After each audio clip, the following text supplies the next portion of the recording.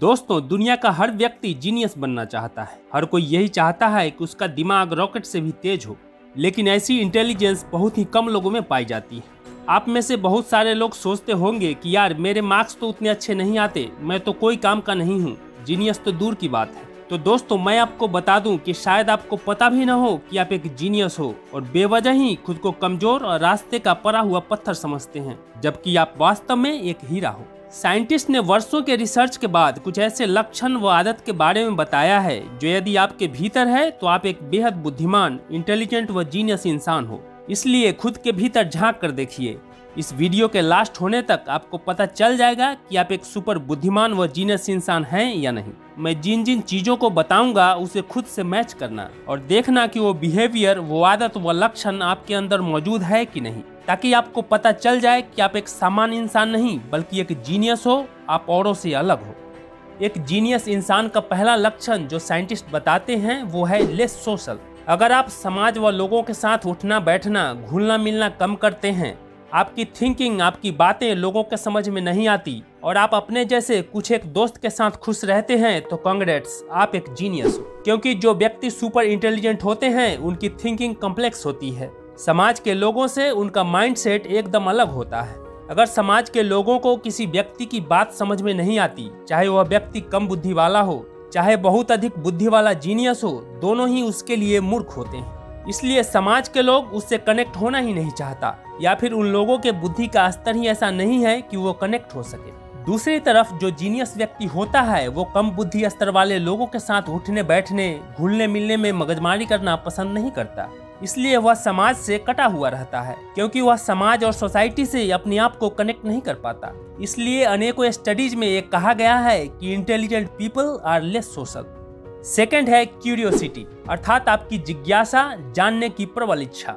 अगर आप हमेशा नई नई चीज़ों को जानने के लिए उत्सुक और जिज्ञासु रहते हैं तो आप जीनियस की कैटेगरी में आते हो, क्योंकि एक जीनियस व्यक्ति सदैव क्यूरियस रहता है। अधिकतर लोगों में नॉर्मल क्यूरियोसिटी होती है, परंतु जो अधिक बुद्धिमान व्यक्ति होता है, उसकी क्यूरियोसिटी बहुत हाई होती है। जानने की इच्छा व उत्सुकता अगर आप में औरों से ज़्यादा है, इसका मतलब है कि आपके दिमाग के न्यूरॉन्स की घनत्व काफ़ी ज़्यादा है। इसलिए आप हर चीज़ को जानने के लिए इतने ज़्यादा उत्सुक और उतावले रहते हो। ये लक्षण साइंटिफिकली ये बताता है कि आप एक जीनियस हो। अल्बर्ट आइंस्टाइन ने कहा था कि I have no special talent I am only passionately curious third है सेल्फ टॉकिंग यानी खुद से बातें करना। जो जीनियस लोग होते हैं, वो खुद से बात करना बहुत ज़्यादा पसंद करते हैं। खुद से बात करना, यानी सेल्फ टॉकिंग एक ऐसी खास बिहेवियर है जो सभी नहीं करते। जब आप सेल्फ टॉकिंग या खुद से बात करते हैं तो आपका दिमाग ज़्यादा बेहतर ढंग से काम कर रहा होता है। मनोवैज्ञानिकों के मुताबिक, ये हैबिट सिर्फ़ हाईली इंटेलिजेंट लोगों में ही कॉमन देखी जाती है। रिसर्च बताते हैं कि जब आप खुद से बात करते हैं तो आपका मेमोरी स्टिमुलेट होता है। ये आपको फोकस रहने में हेल्प करता है, साथ ही इससे आपके थॉट्स में क्लैरिटी आती है। फोर्थ है एल्डर चाइल्ड यानी परिवार के बड़े बच्चे। यूनिवर्सिटी ऑफ़ ह्यूस्टन के एक नए रिसर्च में ये बात सामने आया है कि जो बच्चे परिवार में सबसे बड़े होते हैं यानी जो अपने भाई बहनों में सबसे बड़े होते हैं, वे अपने भाई बहनों में सबसे ज़्यादा इंटेलिजेंट और स्मार्ट होते हैं। इसके पीछे दो अहम कारण होते हैं।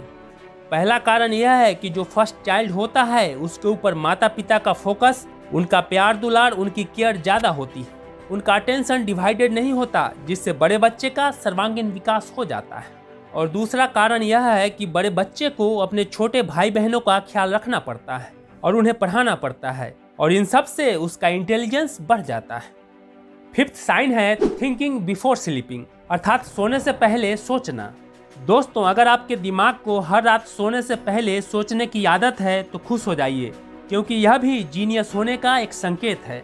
आज क्या हुआ, कल क्या होगा, कैसे करना है, यह सब सोने से पहले सोचने की हैबिट एक जीनियस की निशानी है। जो नॉर्मल सामान्य केयरलेस लोग होते हैं, वो ज़्यादा सोचते नहीं हैं। वो बिस्तर पर पड़ते ही सो जाते हैं, जबकि एक जीनियस व्यक्ति का दिमाग हर वक्त चलता रहता है, क्योंकि उसके ब्रेन में एक्टिविटी हमेशा हाई रहता है। वो चीज़ों को बहुत बारीकी से तथा गहराई से देखता है। सिक्स है फॉरगेटिंग यानी भूलने की आदत। क्या आप सब्ज़ी लेने जाते हैं तो हरी मिर्च लेना भूल जाते हैं, या धनिया पत्ता लेना भूल जाते हैं? क्या आप घर का ताला लगाना भूल जाते हैं, या लॉक लगाकर ताले में ही चाबी छोड़ देते हैं? इन सब के लिए अगर आप खुद को कोसते रहे हैं तो यह जानकर आप खुश हो जाएँगे कि दुनिया के कई महान बुद्धिमान लोगों में भी भूलने की आदत थी। एक स्टडी में बताया गया है कि एक हाईली इंटेलिजेंट जीनियस का दिमाग छोटी छोटी बातों को अक्सर भूल जाया करता है। क्योंकि अगर आप हर चीज़ पर ध्यान देते हैं तो किसी एक चीज़ पर फोकस कर ही नहीं सकते महान जीनियस आइंस्टाइन की भी याददाश्त कुछ ज़्यादा अच्छी नहीं थी। उन्हें तारीख और फ़ोन नंबर भी याद नहीं रहते थे। एक बार तो वे टैक्सी में बैठकर अपने घर का ही पता भूल गए थे। सेवेंथ है नोवेल्टी नई नई चीज़ों, जगहों को जानना, उसे एक्सप्लोर करना। अगर आपको नई नई चीज़ों को जानने नई नई जगहों पर घूमने व एक्सप्लोर करने का बहुत मन करता है तो बधाई हो, आप एक जीनियस की कैटेगरी में शामिल हो। क्योंकि जीनियस का दिमाग हमेशा चीज़ों को एक्सप्लोर करना चाहता है। नई चीज़ों को जानने और देखने की जो फीलिंग होती है, उस नोवेल्टी को पाने की डिज़ायर एक जीनियस में बहुत ज़्यादा होती है। नए स्किल सीखना, नई जगहों पर घूमने जाना ट्रेवलिंग स्मार्टफ़ोन कंप्यूटर पर नई नई चीज़ों को जानना, ये सब नोवेल्टी के अच्छे सोर्स होते हैं। आठवां संकेत है नेल साइन यानी अंगूठे पर सफ़ेद चंद्रकार साइन दोस्तों, अगर आपके दाहिने अंगूठे पर यह सफ़ेद रंग का चंद्रकार निशान है तो आप सुपर जीनियस लोगों की कैटेगरी में हैं। यह साइन जितना गहरा और सफ़ेद होता है, इंसान उतना ही ज़्यादा बुद्धिमान होता है। यह नेल साइन दुनिया के बहुत ही कम प्रतिशत लोगों में होता है। ये सच है। हमें यह जानकर खुश हो जाना चाहिए कि मिडिल ईस्ट कंट्रीज़, यानी इंडिया, पाकिस्तान, नेपाल जैसे देशों के लोगों में ये नेल साइन का प्रतिशत पश्चिमी देशों के मुकाबले अधिक पाई जाती है।